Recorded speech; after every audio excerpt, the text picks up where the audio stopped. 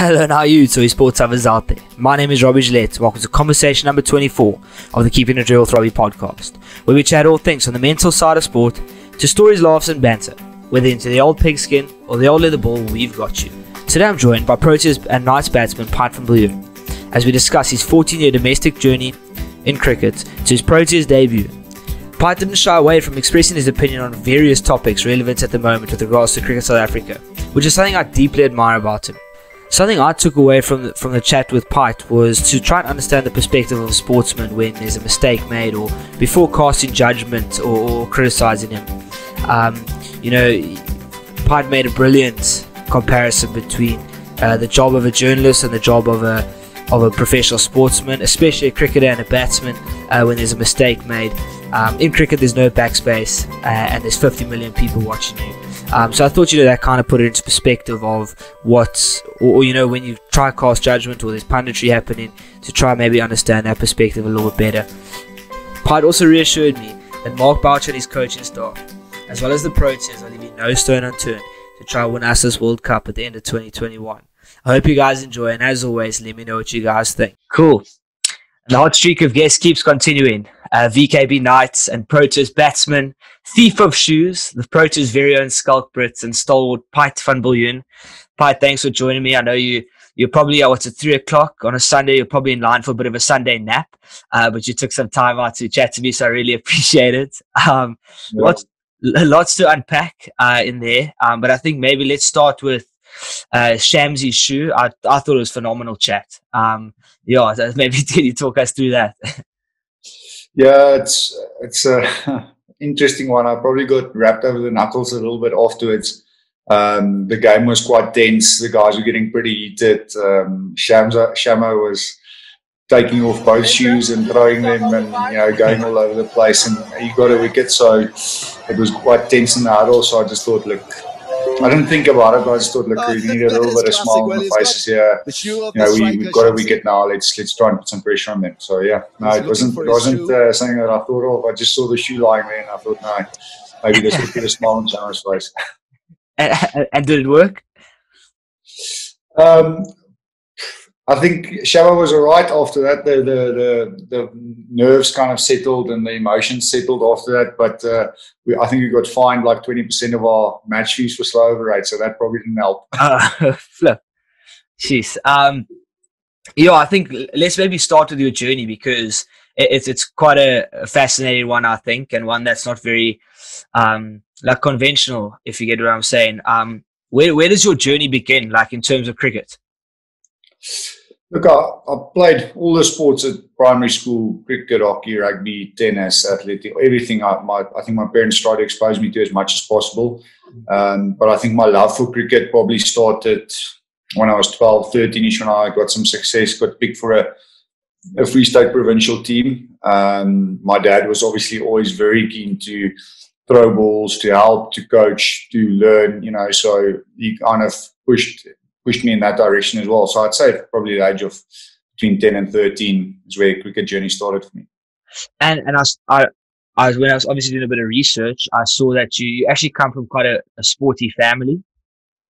Yeah, my my dad um, was an international athlete. Um, probably his best sport, yes, international colors in a few sports, um, but probably based in modern pentathlon. Um, I used to argue with him quite a lot over my cricket. And like he'd say, do this, do that. And I'd be like, no ways, it's not how was done. Why should I listen to you? Wada, wada, wada. And then one day I got uh, there by the, by the, by the bar area. I found a, a big shoebox full of newspaper articles. And um, he was rated the second best in the world at one stage. Um, so yeah, then I kind of realized, look, maybe I should just yeah. be quiet, listen a little bit. Um, and then my sister has been a, a double Olympic swimmer. So yeah, pretty sporty family. Um, I'm probably the worst out of the lot, to be honest. that yeah, that's that that's quite funny to wrap my head around. But um, yeah, I've got so much respect for for swimmers. I'm I'm busy doing my my sports science degree at at um, Stellies, and we had to do like swimming as a practical, and I think we had to do eight lengths in a row or something, and I. to, to say that I just got there without drowning was yeah, no. like we, we are supposed to be fit, and um, I had a shoulder op this year, and I'm meant to do like swimming for my rehab and stuff. And um, I barely get through five lengths and you know continuous. So five lengths is a lot. I would drown. so you played 14 years of first class cricket, which is a long time. Uh, before you got your Proteas debut, how do you how do you reflect on those 14 years?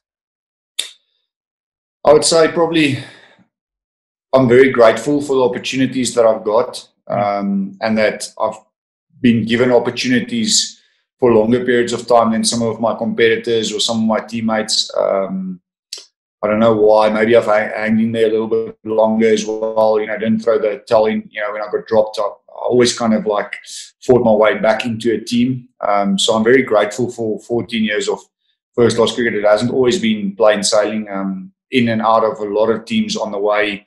Started at Northerns, moved to EP, back to Free State. So it hasn't always been an easy road, but uh, I think I've learned a lot of life lessons from cricket, and, and, and it's served me well. Hmm. And did you always think you'll be a pro Protea? Was it always that? Are there I always hoped. Like, yeah, yeah, there were some tough times um, playing amateur cricket. You know, not getting a look in, probably not scoring as many runs as what I hoped for um, not things not going my way. So you'd always then hope, but the doubt do start coming in as you get older. You get to 27, 28, 29. You see the next under 19 kid is in the newspapers. He's all over the TV. Yeah. So you think, well, this guy's going to be the next guy in, you know. So um, I wouldn't say I, I, ever gave up. I mean, every night, well, every night, but I, I still dreamt about playing cricket for South Africa, and I still prepared you know, to face the best in the world, if I can put it like that, or watched what they do and how will I play if I have to face Stark and Cummins and all these guys. So, yeah. or back then it was probably uh, Morné and Dale and the boys. So, now I've, I've always prepared myself to to be ready to play international cricket. Um, but yeah, it hasn't always obviously worked out how I planned. Mm. And so, who who would you have entered like like with your schoolboy days? Who would you have entered into professional cricket with? the guys, um, um, the guys who have probably gone on to play for South Africa from my years were guys like Richard Levy, um, Wayne Parnell's a little bit younger than me. Um, Stiaan van Zyl is probably a year or two younger than me. Uh, Peter Malan, um, Dean Elgar is a year younger than me. I played a lot of cricket uh, with with Dean. So yeah, that that group, um, that group. I, I didn't play SA under 19 or SA schools, but I played a lot of SA universities cricket. And um, I think I played five years as university cricket, and every year I think we played SA under 19. So I got to see a lot of those guys play with or against a lot of those guys. Yeah. And am I right in saying you did a, a law degree? I did uh, BCom law in Pretoria and uh, honors in financial planning in Port Elizabeth. All, all while playing cricket. Yeah, while playing cricket, um, my marks uh, will reflect that as well. That's all you need. You a lot of rewrites. There was a lot of rewrites that just scraped. I don't know how I scraped through. I think I just made my handwriting so bad that the lecturer just gave me the points. so no, it wasn't easy. No, that's that's so impressive. And uh, you know, like the impression I always get from first class cricket is that it's it's incredibly like tough and unforgiving. Um, there's no there's hardly ever any crowds. Is, is, it a fair assessment to say that? Um, and have you ever like what kind of tough experience have you taken from first class cricket? Not necessarily in games, but like as you say, not getting a look in in and out of contracts. Um, yeah, those kind of periods. I think yes, first class cricket is hard, and it is uh, it's a professional sport, so it's yeah. All the teams will pick guys because they want to win, you know. So there's not really um, the the nature of our contracts is also um, max two year contracts, or it has been up to now. So if you have a bad season, you know you might not get a look in again, or bad competition, you might not get a look in again because the next guy is always coming through you. Know? So mm. with a franchise system also in place, it was only six teams um, that was competing at the now the tier just below international cricket, and then you have to go to amateur cricket or, or senior provincial, which was a, a, step or two down from the standard you were playing against. Um, well, at most of the time at franchise level, the franchise level, you'll play every game, you'll play against the odd pro tier or two, um, and then you go down to amateur level, and it could be a club ground that you play at uh, guys you've never seen before. So yeah, it's quite a tough. It was quite a tough environment in the in the previous structure, uh, but it's a new structure now, obviously. So yeah, we'll see what it, what it brings. Yeah. Yeah, and I mean, like, so first class cricket, and you say like you're playing at club grounds. Um, how how do those pitches vary? You know, like if you in terms of like you're playing at Newlands, or then you go to Western Province Cricket Club, it's not going to be the same pitch because Newlands will be more looked after. You know, did you ever find that as a bit of a struggle? It's uh, definitely a lot harder. Um, I, I find it harder playing uh, senior provincial um, because when you play at Newlands, the ground has a definite characteristic. If you play at Wanderers, the pitch has a definite characteristic that you can prepare for. Um, you know, in a week leading up to the game or in two weeks leading up to the game if you play at a club ground, it's it could have been raining, it could have been a, a, dry season that, that you had, and you're not quite sure what to expect. How do you prepare? Yeah. And it's not just the conditions that's unknown, um, the opposition's unknown as well. Because I mean, if I go back to playing the Cobras, my first game, I knew what to expect from Rory Kleinveldt, Dane Paterson, um, Justin Kent, Dane Piedt. I knew exactly. I saw them on TV. I saw them for yeah. years on TV. Now you play some, you know, uh, on a club ground, it might be a bit difficult. We get some student comes in there, it's his first game for Western Province, and you don't know what to expect. The first one's a full banger, the next one's a Yorker, and you're out, you know. So, yeah. No, I find it really hard to, to, to play senior provincial cricket now. Hmm. What do you think of the new um, structure? Do you think it's better than the old one in terms of opportunities? I'm not sure if it's better. Look, there's, I think there was a massive debate before the structure was on because they said something like 70 contracts will be lost because you'll go from you know two or three teams per region to two teams per region. So yes contracts lost. So that means you lose professional players that you know were playing cricket for a living. Um, but then again you have more players playing at a higher level if i can put it like that. So um, for me the region I'm from, Free State, I think we've always wanted to have our own identity. Um, we've always wanted to have our own team. Um, we've got a very strong culture with a, a, rich heritage of, of cricketers coming through.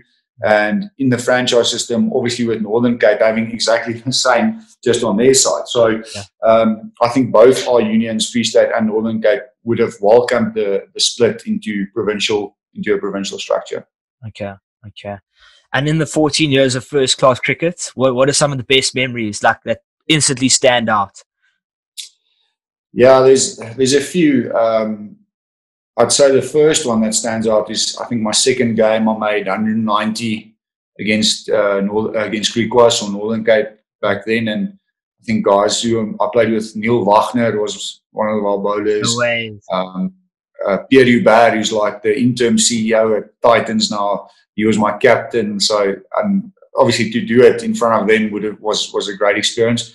But definitely the one in first class cricket that stands out for me was my debut for the Knights was against the Cobras at Newlands. I was I made hundred on debut and man of the match, and we won for the first time. I think it was in 17 years or something that we won a four-day game at Newlands. So that's quite a special special game for me to be a part of. Yeah. I laugh at um, Neil Neil Wagner but because whenever the like the New Zealand commentator is Wagner, and all my mates and I are just like, oh, it's so it's like it's not Wagner. No, it's, it's just no.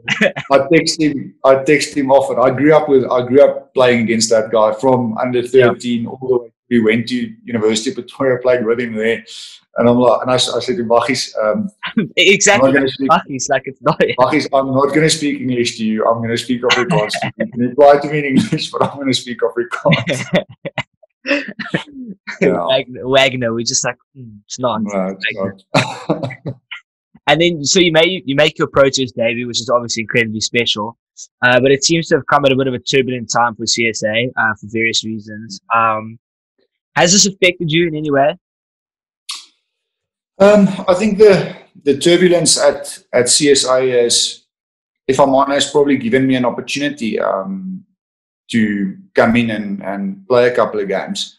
Um, there's a lot of uncertainty. A lot of players are unsure what's going to happen.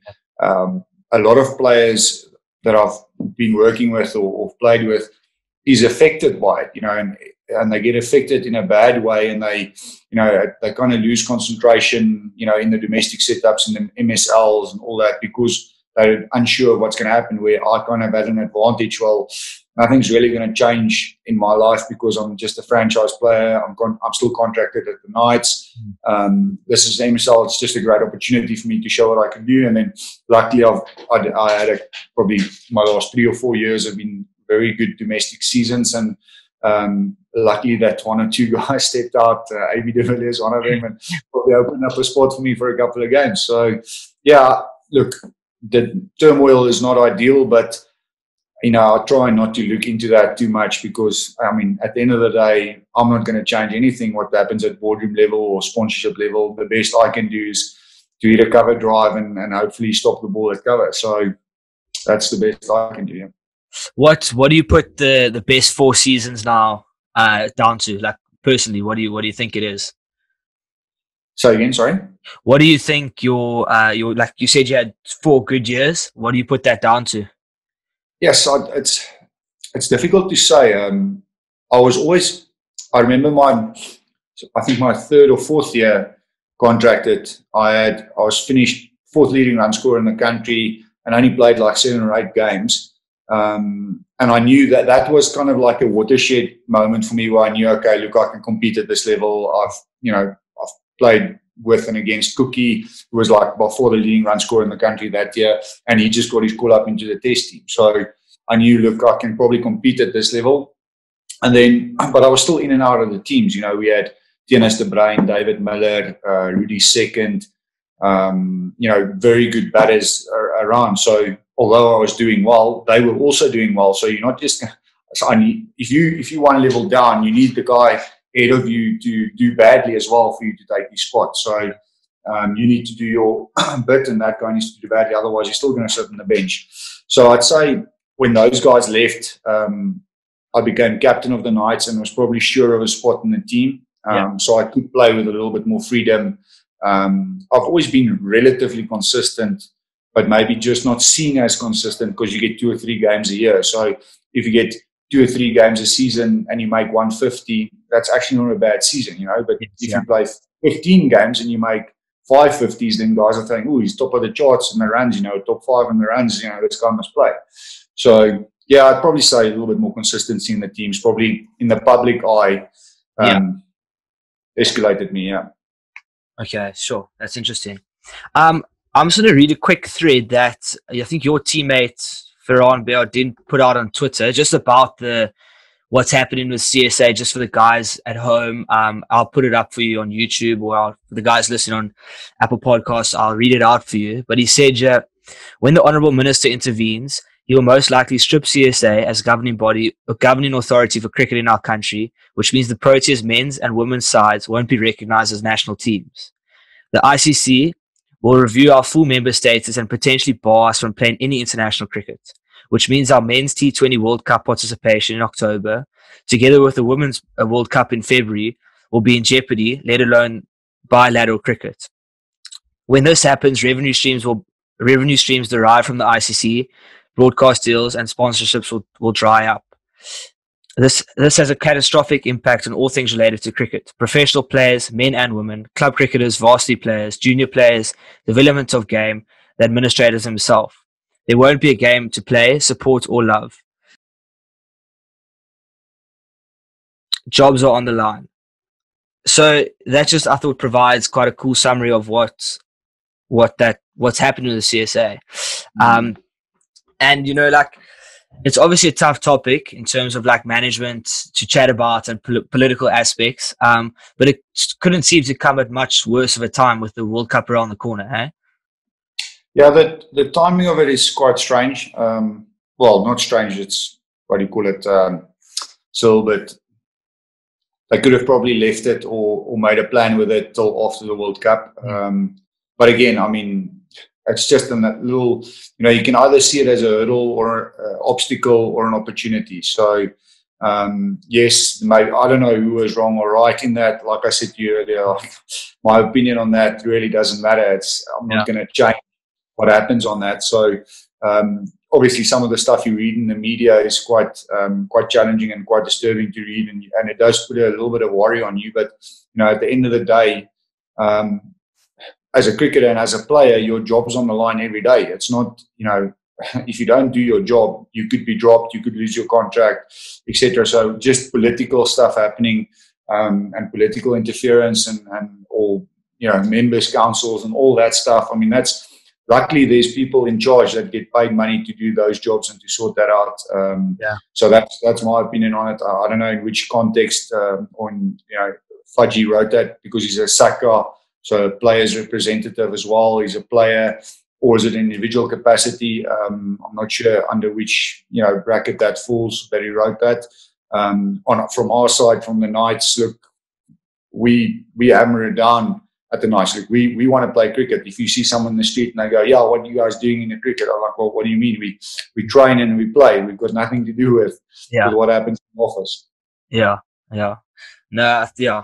Um, again, like I know we, we, we're sticking on media here, but there, there seems to be like a lot of, in the last year, there's been a lot of chat around selection of various players and who plays where and, you know, like keyboard warriors, the chatting about who thinks who they is the best player in the world now. How have you managed to maybe block that out and, and stay as consistent have you had as you have been? Well, I've deleted Twitter, point one. which my sponsors aren't very happy with because they use it a marketing. But yeah, so no, it's it's um look what I what I don't understand with with um, media and supporters and, and all that is mm. we were all very critical of the Springboks, you know, going into the World Cup, and then.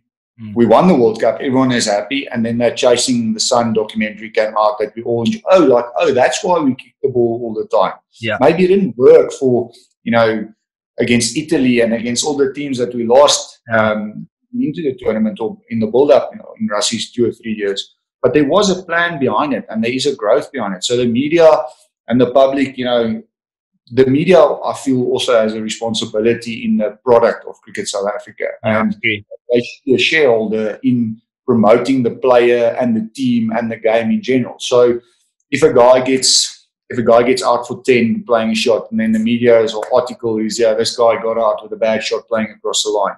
Mm. But maybe that guy was sent in with a message to say, listen, you need to pull the trigger, you know, two balls and then you got to go, you know, and he thought that's the option.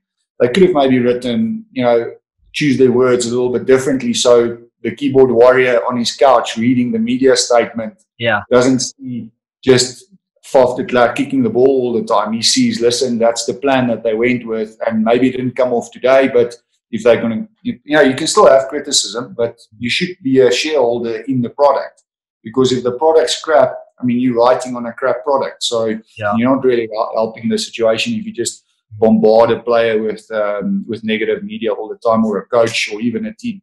Mm.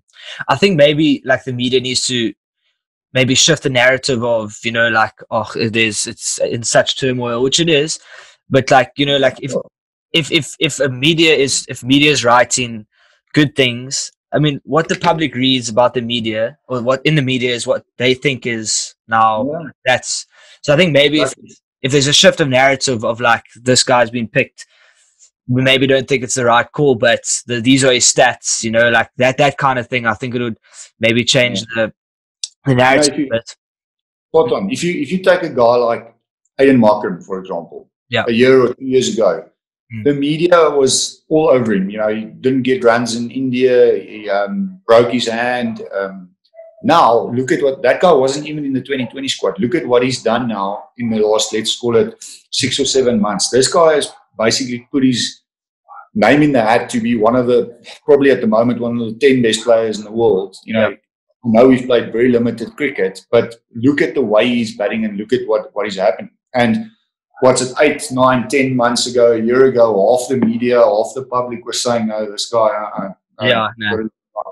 You know, Rassie van is a top five player in the world, or you know, he was just around the corner, top five player in the world. We've lost five or six guys to the IPL. Um, AB de Villiers is still in the wings. You know, we've got Chris Morris still there's some serious players around. KG Rabada is over a long period of time now probably one of the two or three best bowlers in the world. Shamo is not. Know, so just because we're playing badly or it's not going our way, or you know, there's still some serious players. There are guys sitting on the bench that is year in year out performing and doing yeah. well, and the national tournaments doing well. So the public, I, you know what? I actually hope the Proteas do very well at the World Cup because I want to see some someone eat some humble pie. To be honest with you. Well, that that was literally the next question. It was like, has it has there been a moment where something's been written about the team or you, and you just prove them wrong? And just like you know what, like your stuff you, know, you guys. The difficult, the difficult bit about about my job is, well, our job is yes, you can like yeah, you know, stuff you are just yeah. proved you wrong, but the next game you still have to go out there. Yeah, yeah. And, and then they back on, on you again. So it's probably best just to leave it but mm. and not say anything and just get on with your job. But you know, if you if you you don't get a second rehearsal um, with cricket, you know that you get that ball, you miss it, you're out, or you you drop that catch. Mm. And it's gone. That moment's gone. The guy sitting there writing the article, he can press backspace, he can clear his words, he can write it again and it's not with 50 million people watching every keystroke he makes, you know. So, yeah. just, you know, think about it like that. If your job is under that pressure, you not you can't press backspace, you can't press clear, and 50 million people will judge whatever you've written there. I know I chose we chose to play cricket and I chose to be media, yeah. but you know sometimes you just got to think about it a little bit. So listen, let's sell let's sell the, the public a little bit something better. Yeah, mm. like a different perspective, I think, because it's, it's all been negative. Um, but I'd love to pick up maybe on the, the whole AB and Chris Morris thing. I know you may be not at, at liberty to chat about it, which is absolutely oh, fine. But what do you think? World Cup? Are they are they coming? So, my opinion, and this is personal opinion, this is nothing attached to any team I play for or selectors or anything like that. Like the Kolpaks coming back, I feel they are South African. They've got South African passports. Yes, they've chosen to play cricket in a different country for a set time.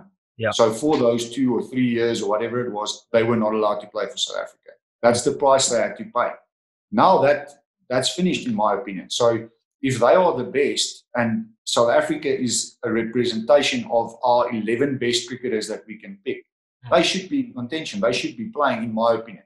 Yep. Plus, if you if you feel as a player that you know this guy could take my spot, you know, if AB comes in but he's gonna come, he's gonna come for my spot. You shouldn't want that shirt if you're not the best, or if you don't think you're the best. You shouldn't want it if you think, mm. yeah, but AB is actually better than me. You know, AB can win us a World Cup. Why would you?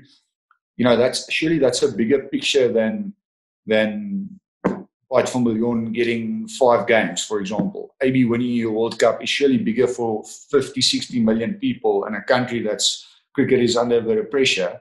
So my feeling with that is is let's get the best guys that's got a South African passport in there playing and well fit and playing. So that's my opinion on that.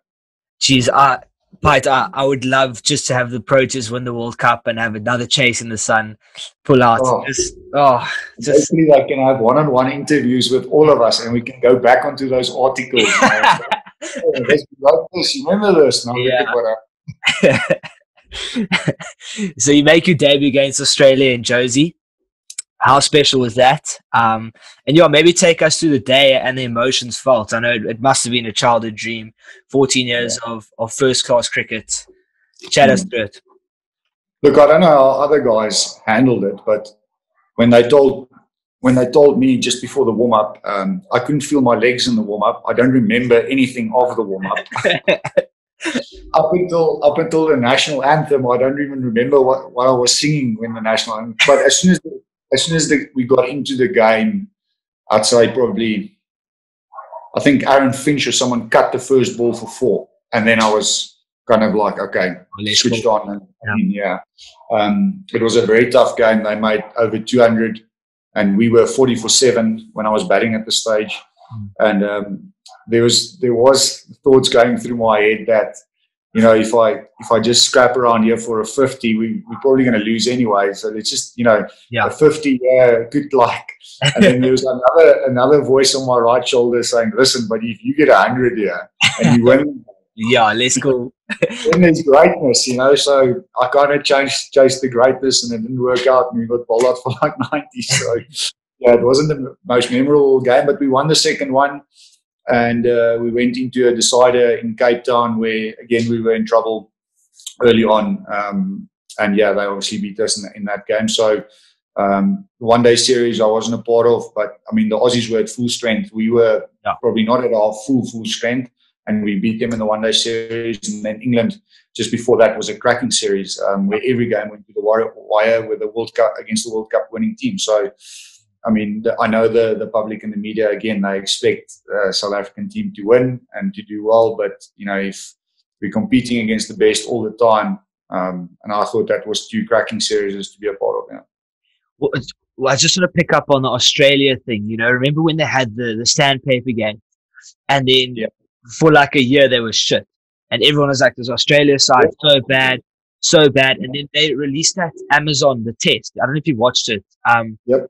Of like basically they're chasing the sun, and now everyone yeah. like understands what happened, and and they're buying into it. yeah, yeah, yeah. It's like crazy, but but you can't you can't do put a documentary out like that or a program out like that before you've had success because you have to wait until you have success and then give an explanation on carte blanche on what happened you know in the build up and all the and all the crap you had to eat and and criticism you had to take but mm. yeah so it's about and then the coaching staff yes they like the media will not see how hard those guys work. Every there's no stone left unturned. Every session, every day. You know, like two days ago, I read, wrote, read an article on our fielding. I wish, like guys, okay, I know COVID, you can't, but you, you must see the fielding exercises that the guys are doing, and it's like an hour and a half, full intensity. You walk out there, you need two days recovery after a fielding session like that. So it's not like the coaches aren't aware, like, look, we're a little bit behind in the fielding from where we want to be, but yeah. They are so on it, um, and they're doing their job. I mean, it's not they don't not the ones going out there playing. We're the ones going out there playing. It's not Boucher's fault that that I dropped that catch at point. It's it's my fault. So you know, yeah. Yeah. Let, us play a word game. Uh, so the first word or yeah word that comes to your mind or phrase. Can you make a phrase? Yeah, please. One yeah, word will be. Yeah, yeah, yeah. Afrikaans is my first language, and I'll be doing this in English. yeah, fair enough. Um, Bloem. Vegas. Proteas. Hang in there. World Cup 2021. Um, let me think. Go skip next one. Let's yeah. Next. COVID 19. Over it. Bio bubble. Would rather get salmonella. Knights. Watch out. Okay. Nice. World Cup.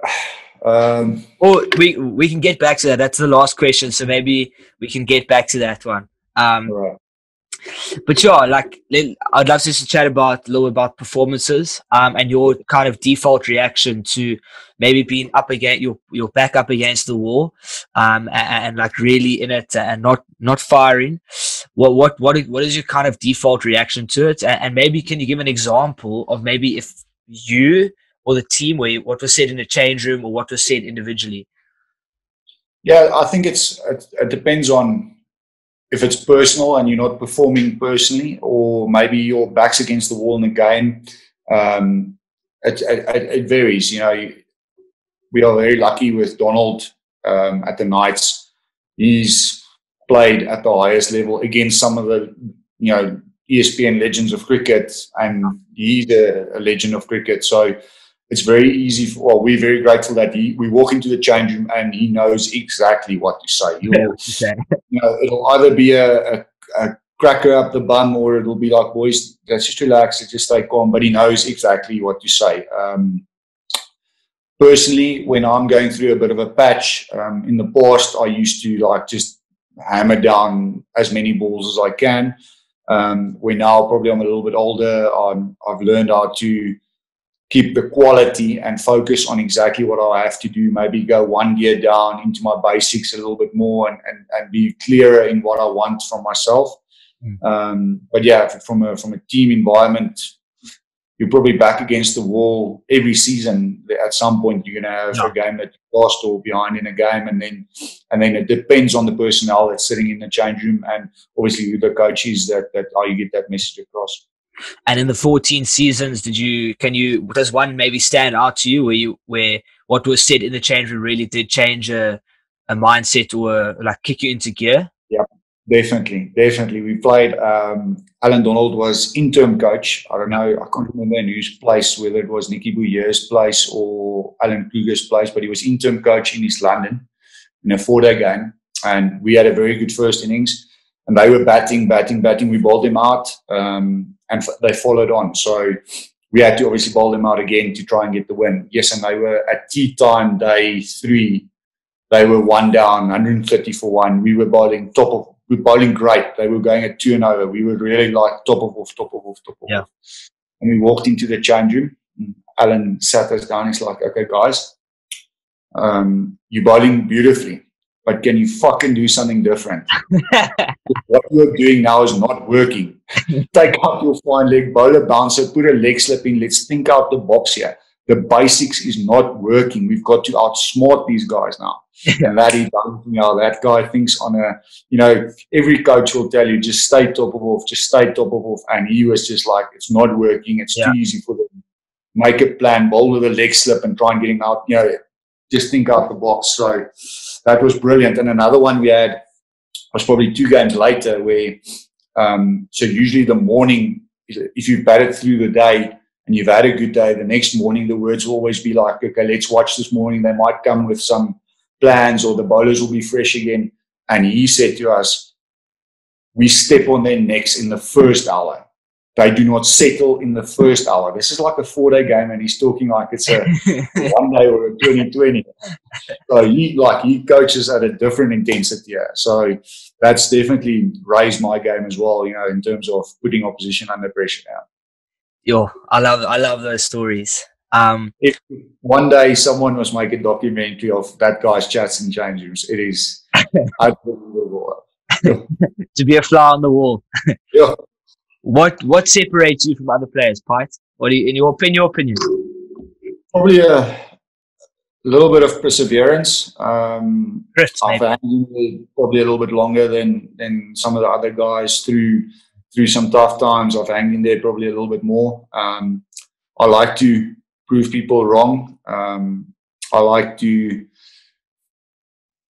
I like to compete and to see how good I can be versus the best. So if it's a, a KG bowling or a Rassie who's number one in the country, leading run scorer, I'd like to see how, how good I can or how close I can get to that. So yeah. um, if it's the opposition or if it's international cricket, I like to, you know, if I'm batting four or five, um, whoever's four or five for the opposition, I like to probably outperform him and, and see how good I can be against these best bowlers. So I wouldn't say it sets me apart, but I think that's that's probably what's kept me in the game for so long. Yeah. 1800s, 3650s, and a high score of 202. How do you feel when you're at your best? And, and how do you try to replicate that? Yes, it's difficult in cricket because there's so many variables: the pitch, the bowlers, um, your own form. Um, how do I replicate that? It's I've gone again. I've gone from a training regime where very much hitting a lot of balls, the basics, etc., to over the last two or three years, probably putting myself under pressure in the nets and putting myself under pressure when I train. Mm. Um, probably put the bowling machine a little bit quicker. Ask the coach to come a little bit closer when there's throwdowns. Um, ask the bowlers to take new balls, for example. So always trying to put myself under a little bit more pressure um, because I know the the next 19 year old is coming. He's coming through, and, and he'll have video analysis when he was 13, and oh, we only started analysis when I was 30. So I always know, look, the next guy's coming, and and I have to make sure that that spot that I'm the best guy for that spot, and the only way I can do that is to challenge myself. Yeah. Okay. And the last one, the final one. Will we see Pite van Biljon as a World Cup winner at the end of this year? I don't know. Maybe you can ask Victor Mpitsang. He's the selector. Look, I think my opinion on on where we are in world cricket, obviously in rankings and in past performances, it's not looking great. But Faf is drilling them at the IPL. Mm. AB's in some serious form. Rassie's a top five batter. Quinny's coming good now. 2020 cricket's about form, man. We'll see. Individuals on form. That's what 2020 cricket's about. It's, it, it's all it's all shaping up to be a perfect storm as as, a, as like a chasing the sun. And, and you know, like what I love about um like T20 cricket is that yeah, you could have had a, a crap year, um, but at the end of the day, it's 20 overs. It's not like it, it can change so quickly, and I think that's uh, a crap competition and a semi-final. You get 50 of 20, you win the game for them. Yeah, yeah. I love it. I, I I know I read I read a lot of the articles, but I do genuinely believe that we we have a serious uh, chance to win this. Um, and, I, and I hope to see Pite there. I, I genuinely do. Be flipping insane. Um, but yeah, Pite, thanks so much for joining me. I've really appreciated it, and the time's blown by. Um, yeah, it's been such a flippin' awesome chat. I know when I told yeah. guys I was I was doing you, he lot, all of them just said just ask about the process, ask about uh, like get an opinion. So I was like, you know what, I have to, and I think you've provided that. So thank you so much. I appreciate it. Thanks, buddy. It was a good one.